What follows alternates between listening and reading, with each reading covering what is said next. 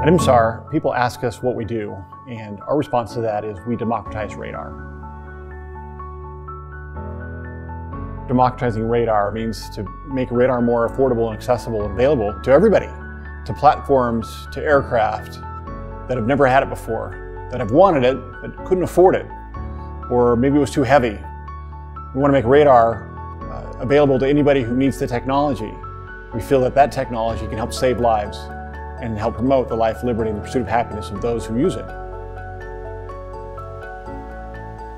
Making radars is what we do, and our manufacturing team is 100% vested in IMSAR. Our quality and our workmanship is critical to the work we do. We don't necessarily work with contract manufacturers on a day-to-day -day basis with most of our products. Because of that, we build it in-house, and we build it in-house rapidly. We can make something happen the same day that we decide to make it happen.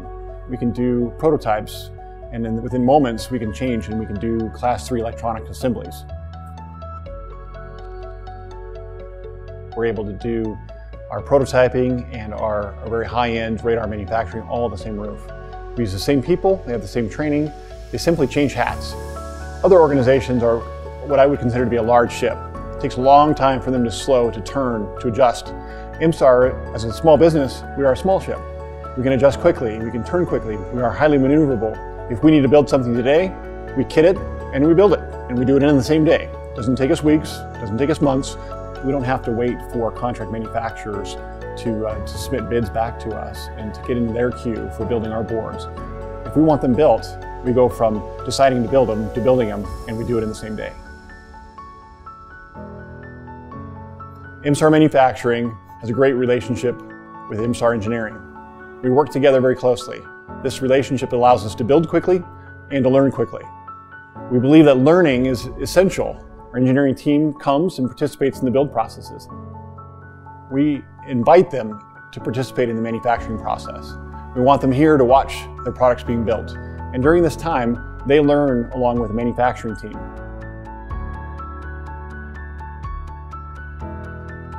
IMSAR is very vertically integrated. We do all of our manufacturing here in-house.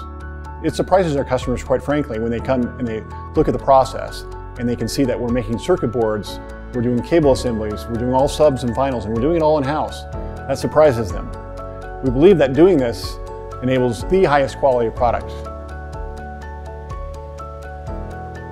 Part of providing great quality is having a highly skilled workforce. All of our employees are IPC trained. We are also AS9100 certified. Everyone who touches a wrench on a radar is IPC, and they understand how it affects the products and what that means in democratizing radar.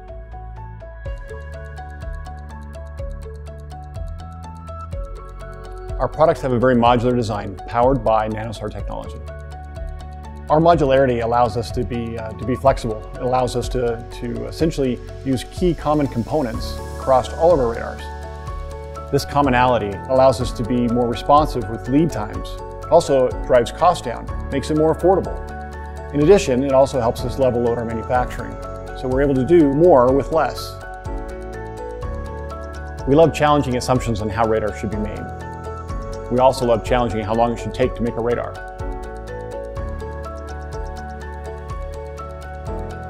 This is the beginning of democratizing radar.